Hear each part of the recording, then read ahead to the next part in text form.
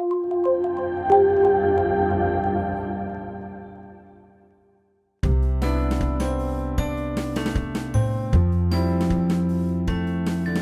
don't know that I've ever felt sort of prepared. I think that was something that I developed early on in my career as I sort of broadened, you know, my sort of experience and perspective was recognizing that you don't have to know it all to sort of being able to willing to commit to the journey. The growth mindset. I'm always learning, I'm always trying new things, I'm always looking for new opportunities, or as new opportunities present themselves, uh, I'm taking advantage of them. And that, I think, has sort of naturally prepared me, even though it hasn't been exactly intentional. um, so I started building online courses. And I was working with uh, faculty and a group of instructional designers. And eventually, I felt myself hitting a plateau. Uh, like, I, I knew the tech really well, but I felt like they were speaking a different language that I didn't know how to speak. So that was probably the biggest step in my career path. I, I went back and got my master's degree in education uh, with a focus on online education. And uh, that started opening doors because suddenly I could translate from the faculty instructional designers to system admin people. Um, and that helped me get into a management position. Networking is important, um, but I think all, what's also important in terms of preparation is developing a portfolio of skills and accomplishments. And I had the great fortune of my first job being at a community college in Detroit. Um, as and I, my first job was as dean of instruction, and I had a, the chance to uh, grow a distance learning program in terms of the numbers of faculty and also the enrollment.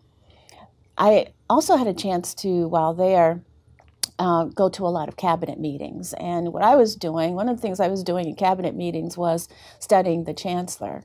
So I took copious notes in these meetings, and I was studying the way that he would um, move his vision forward um, in a large organization and the way that he um, would um, would think and would would speak, and that was part of my preparation. But the two pieces of intentional advice that I've been given.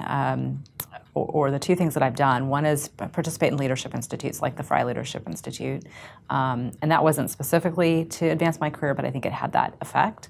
And the other was a piece of advice that I had from a, um, a boss early on who said that I should um, be doing everything that I can as I went into a CIO career to be thinking about how to um, sort of develop my he didn't call it my brand, but that's what I would say is my brand. And so how, how I get involved in the community, how I think about you know my my position and, and those things that matter to me, and that that would um, help prepare me for sort of the next CIO gig whenever that that came along. So gaps are going to exist um, no matter where you are in the organization, whether you're moving up or you're moving across or you're moving down.